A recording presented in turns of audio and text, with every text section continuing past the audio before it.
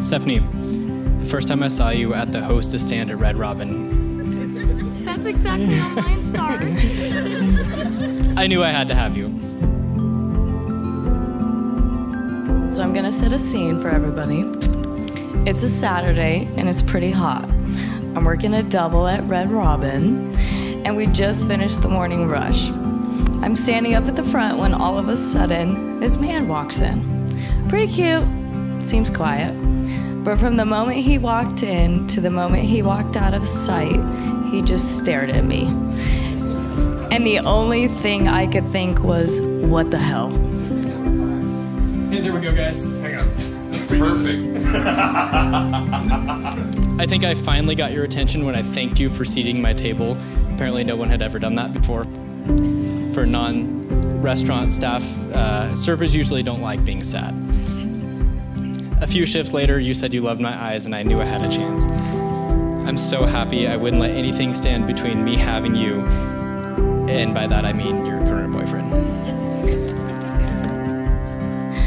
But flash forward to a few years later, I'm standing up at the front again on another hot Saturday with the same man staring at me. But this time, he's not some stranger, he's about to become my husband. These last 1,279 days have been the best days of my life. I love waking up with you every morning, and I love how you ask for four more minutes over and over and over until I have to drag you out of bed. I love your morning hugs even more. I love your funny faces and your goofy dances. I love that you're so committed and devoted to playing Fortnite.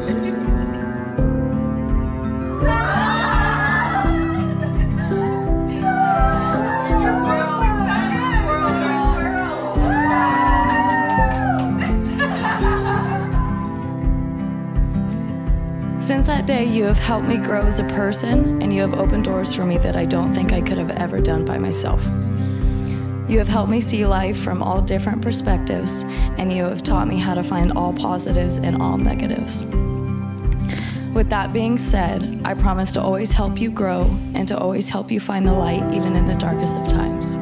That's a Harry Potter quote.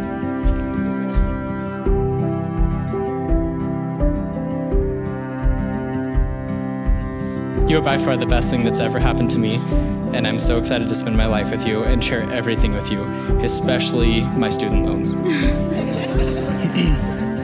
We've seen six other countries together, and I can't wait to see so many more with you, even if we have to scope out Burger Kings and drive around all, all around town because you don't like the local food. Above all, I promise to never make you feel unloved, unworthy, or not respected. I promise to continue exploring every inch of this world with you, and I'll even try food that isn't American. You'll be loved every day for the rest of your life. I promise to respect you, protect you, hold you, give you space when you need it, and I'll try to turn off the lights when I leave the room.